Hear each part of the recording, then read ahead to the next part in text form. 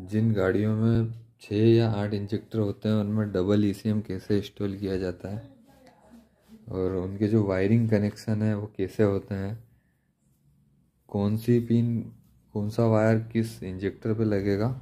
उनके जो इंजेक्टर की चाल होती है, वो किस तरह से होती है? वो एक डायग्राम की मदद से आपको समझाऊँगा मैं। बहुत ही आसान तरीका है। तो चलते हैं वीडियो शुरू करते हैं। तो इनमें दो ईसीएम लगते हैं। ये हमारा मेन ईसीएम है और ये सेकेंडरी ईसीएम होता है। तो इस पूरी लूम को इसमें सिर्फ़ हमारे जो मेन इंजेक्टर की जो वायरिंग है, इसी को हम इस, इसके कनेक्शन दिखाएँगे।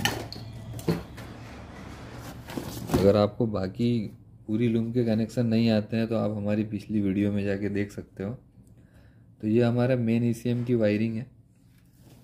और ये जो है हमारा सेकेंडरी जो ई है, उसकी वायरिंग है। इसमें तीन लूम होती है। तो तीनों में आपको डायग्राम में समझा दूँ। एक में तीन वायर होते हैं। इसमें तीन वायर हैं। तो ये जो रेड वाला वायर है, ये हमारे इग्निशन की पे लगेगा। और जो ब्लैक है, वो ग्राउंड है अर्थिंग है। और जो लास्ट वाला बचा है, ये हमारे गैस सेलोनाइट वाल पे लगेगा प्लस पे। तो इसकी कहानी हो गई ख़त्म। अब ये दो जो लूम बची है, इसमें एक में ब्लैक धारी है, जैसे इसमें ब्लैक धारी है, और ये वाइट धारी है।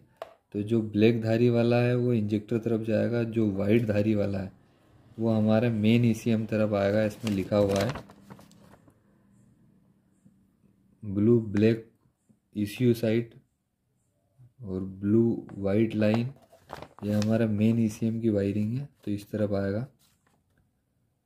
इसमें नोट लिखा है white line wire most looping with C N G E C M black line wire use in petrol injector cutting.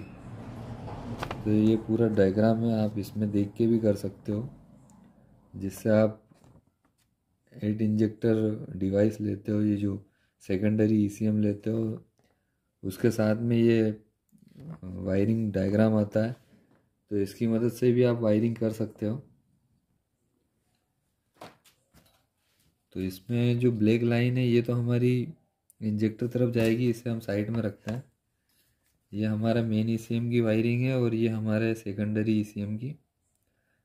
तो इसमें सेम कलर होते हैं सेम कलर से सेम कलर हमें जॉइंट करना होता है। इसको पहले इसमें से निकाल लेते हैं। बहुत ही आसान है इसके जो कनेक्शन करना।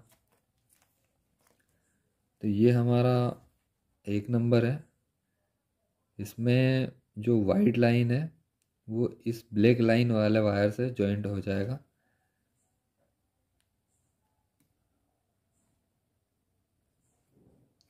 आपको दिख रहा होगा इसमें वाइट लाइन है, मैं थोड़ा क्लियर करने की कोशिश करता हूँ।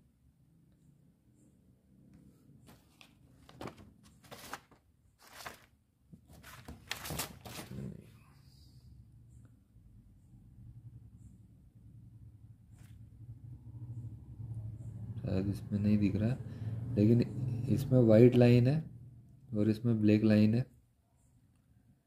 तो जो वाइट लाइन है वो ब्लैक लाइन से जॉइंट होगा। और जो प्लेन वायर है प्लेन से प्लेन जॉइंट हो जाएगा।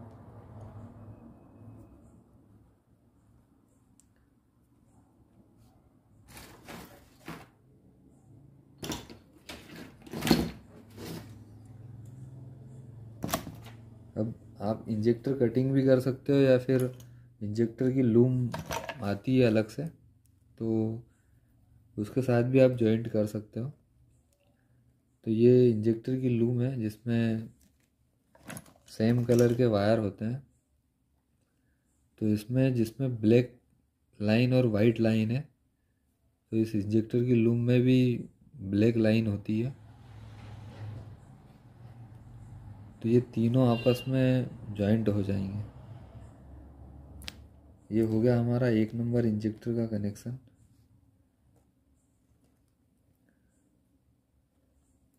और जिसमें प्लेन है, उसमें प्लेन से प्लेन वायर जॉइंट हो जाएगा। तो ये बन गए हमारे तीन वायर ये कॉम्बो हो गए हैं। तो सेम कलर मिला के चारों इंजेक्टर की वायरिंग आपको करना है। दो नंबर तीन नंबर सभी में इसी तरह से होगी। अब ये हमारी जो ब्लैक लाइन है ये जाएगी हमारी इंजेक्टर पे, लेकिन इसमें आठ इंजेक्टर है तो इसमें जो एक नंबर इंजेक्टर और दो नंबर इंजेक्टर कौन सा कौन सा वायर किस तरफ़ जाएगा, इसके बारे में आप लोगों को डाउट रहता है। तो इसी बारे में मैं आपको समझाऊँगा। ये मैंने अलग से एक डायग्राम बनाया है। ये हमारा इंजन है, ये बेल्ट साइड है और ये गियर बॉक्स साइड है। बेल्ट साइड से एक नंबर होता है, कुछ इस तरह से इंजेक्टर लगे हुए होते हैं जब हम रेल बाहर करते हैं तो। अब ये हमारा एक नंबर मिनी फोल्ड है और ये एक नंबर इंजेक्टर इस तरह से लगा हुआ। और ये दो नंबर इंजेक्टर है। ये दो नंबर यहाँ पे दिया हुआ है। चारों मिनी फोल्ड में इसी तरह से इंजेक्टर लगे होते हैं। थोड़ा क्लियर कर दूँ मैं आपको। तो सबसे पहले हमारे जो वायरिंग कनेक्शन होगा, वो मेन ईसीएम जिसमें हमने कॉम्बो बनाया है, तीन वायर। तो इसी का होगा। अब ये जो कॉम्बो है, हमने अलग से जो इंजेक्टर की लूम ली है तो इसमें दो लूम होती है। यानी ये जो वायर है, ये हमारे एक नंबर इंजेक्टर में लगेगा। एक नंबर सिलेंडर का फ़र्स्ट इंजेक्टर ठीक है? अब जो दूसरा दूसरा जो वायर है, दो नंबर मेन ईसीएम का, वो हमारे दो नंबर सिलेंडर के फ़र्स्ट इंजेक्टर यानी तीसरे नंबर के जो इंजेक्टर है, तीन नंबर में लगेगा। सेम तीन नंबर का जो वायर है मेन ईसीएम का, वो हमारे पाँच नंबर इंजेक्टर में लगेगा। और लास्ट वाला जो मेन ईसीएम का वायर बचता है, चार नंबर में, वो सात नंबर में लगेगा।